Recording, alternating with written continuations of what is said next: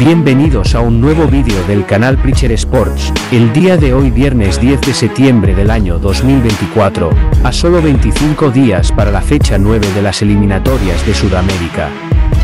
Ahora sí, les dejamos con lo que dijo los medios y las redes sociales tras este partido finalizado entre Ecuador versus Perú. Tiempo adicional, señoras y señores, final. Final del partido. Aquí el Rodrigo Paz de Quito ha caído nuestra selección. Ha caído nuestra blanca y roja. Ha ganado Ecuador por 1 a 0 con gol de Valencia en el primer tiempo. ¿Cómo duele selección? ¿Cómo duele blanquirroja querida? ¿Cómo duele perder así? Hay formas de perder y hoy la verdad no fue de esas derrotas decorosas que a veces se dice. Porque se peleó hasta el final. Hoy no tuvimos ni fuerza ni alma para pelear por lo menos un empate. Hoy no salió nada. Hoy más allá de la altura el equipo no funcionó. No tuvimos una idea de juego. A lo mejor hubo un plan de juego elaborado por Jorge Fossati que no resultó. Valencia terminó ahogando estas ilusiones. Ha caído Perú cada vez, cada vez más lejos del Mundial. Ha caído nuestra selección 1 a 0. Luego viene Bien. el post para analizar, para seguir discutiendo, para seguir debatiendo. Sí, a las 6. Vamos. estamos, entramos con la pausa, Oscar. Queda un minuto. Perfecto, listo. Ecuador suma tres puntos en casa. Victoria justa del conjunto local. Perú no jugó mal, jugó pésimo. Ya lo hablaremos tras la pausa. Se viene el post partido. Somos por y la Recordar- tabla. recordando, recordando que Colombia venció 2 a 1 a Argentina. Sí, no, Colombia está en el Mundial. Vayan comprando sus pasajes, amigos cafeteros, para el 2026. Y hoy Bolivia se mete en la pelea, si es que sostiene ese 2 a 1 ante Chile en Santiago, lo que puede generar incluso la salida de Ricardo Gareca, porque para los chilenos perder de local contra el conjunto verde es un golpe, un golpe que va a traer cola. Señor Torres, ¿me ayuda, por favor? Sí, por Así favor. es. Para cerrar, Falta un minuto para que acabe el Chile-Bolivia. Al final dieron nueve minutos. de 9 adición. minutos. ¿qué? Así ¿qué es. pasó? Y en el Increíble. descanso acaba de terminar. Valga Terminó. la redundancia. Ganó. Histórico. Histórico triunfo de Bolivia allá en Santiago. Increíble. 6 de 6 Bolivia. Impresionante con el profe Villegas. Y ahora, Wow, qué envidia.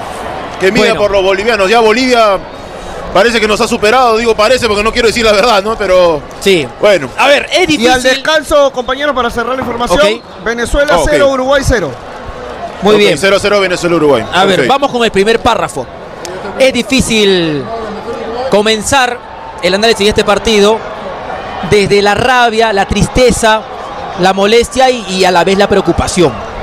Pero creo que no podemos dejar de tomar en cuenta lo que hablamos luego del empate contra Colombia, donde creo que se exageró los buenos rendimientos para llevarlo a la alegría, porque claro, mejoramos sí, pero no tanto. Y todavía había una deuda, que es Perú con la pelota, Perú en cuanto a la producción, Perú en ataque y también, por supuesto, algo que nos está costando y mucho, que los jugadores sostengan su buen rendimiento. Por ejemplo, el caso de Sergio Peña, que hoy no fue ni la sombra de aquel futbolista en el Estadio Nacional. Mal. Renato Tapia, con la pelota, hoy cometió errores. Para mí el mejor fue Cartagena. Desde correr, marcar, luchar, pero con la pelota te da muy poco. Y ese es el perfil. Y ese es el perfil del equipo peruano. Hecho para guerrear, para, para pelear, pero luego no se cae una idea en ataque. Voy a darle pase a Jan Rodríguez para que vea su primer concepto de este partido y comenzamos el debate y el análisis. Para ti, Jan, jugamos horrible hoy. ¿Cómo estás? ¿Qué tal? ¿Cómo te va, Oscar? Saludos para ti, también para Freddy, para Carlos. Sí, jugamos a defender, jugamos a contrarrestar, nunca pensamos en atacar, la idea de atacar nunca se dio, no hubo asociación, no hubo tampoco desborde y bueno, ¿no? Grimaldo fuera de la lista, no ingresó Reina, lo más peligroso para poder de repente agarrarlo mal parado, agarrarlo de contra, teniendo en cuenta que Preciado y también sobre todo Estupiñán iba mucho al ataque, ni siquiera vi la rebeldía en el primer tiempo del conjunto de Perú con Adíncula, que decía que al menos va a salir un poco, no es el jugador más rápido como para un balón al espacio, estuvo más preocupado en que no gane metros por esa banda como contra Colombia, se dedicó a marcar y le temió a perder eh, cu- cuando vaya al ataque.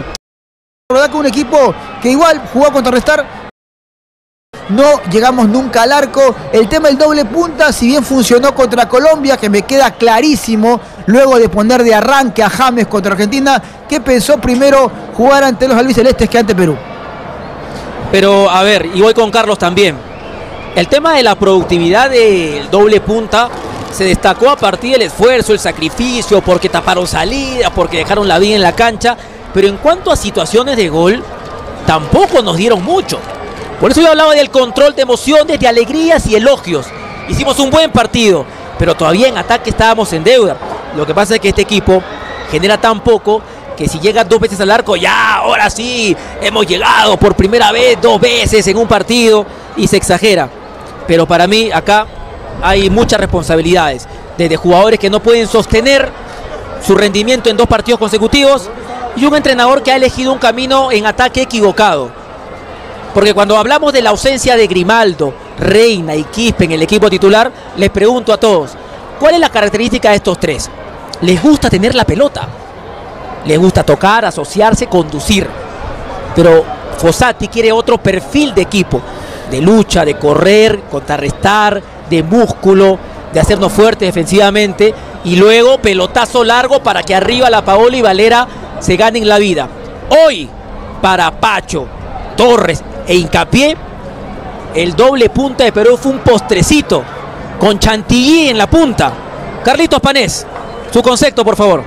Bien, eh, creo que hay que enfocarlo desde otro aspecto. Creo que hablaba en el entretiempo de autorreconocerse.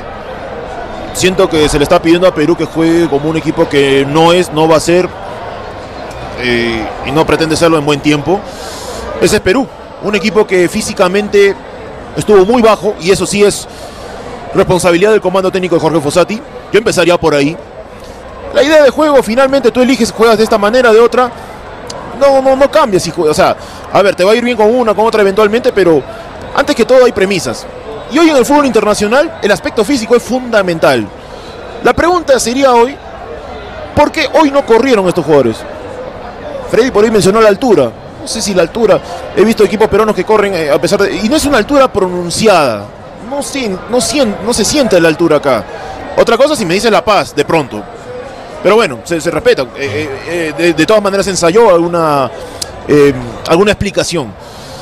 ¿O acaso después de- terminaron tan fundidos con Colombia, no, recupera- no se recuperaron del todo? De repente por ahí hay otros aspectos que no conocemos en este momento. Yo parto desde ahí, del aspecto físico, ahí la voy lanzando. Y luego, el tema futbolístico, decisiones nuevamente erróneas de Fossati, porque él mismo ha reconocido que el otro día se equivocó con la salida de la Padula en una jugada trascendental como la del gol de, de Colombia. Sí, que no, que él tenía que marcar en el vértice. Hoy, parece increíble, pero no lo saca la Padula que estaba fundido. ¿Sí? Y un partido como este, y una propuesta como la de Fossati, que bien la describiste, ¿no? Creo que lo- la, la describiste bien en pocas líneas. Otra cosa es que no sea del gusto de la mayoría. Requiere el- que el aspecto físico sea el óptimo. Pero si tienes a un jugador que está fundido y que con las justas está parado en el terreno de juego, sácalo. Pero no, porque todo empieza con los cambios limitados, debido a que por alguna razón que ya conoceremos, o que de repente alguno ya la conoce eh, de manera interna, Zambrano no comenzó las acciones, quemó un cambio. Sí, al final se va a decir que por la María de Santa María, eh, etcétera, pero quemó un cambio. Ese cambio pudo haber sido Brian Reina, o como dijo Jan, puede haber sido Joao Grimaldo, que ni siquiera estuvo en el banco de los suplentes. ¿Por qué no está en el banco de los suplentes Joao Grimaldo? Son preguntas y respuestas que creo, por ahí yo sí voy a la crítica hacia el comando técnico de la selección.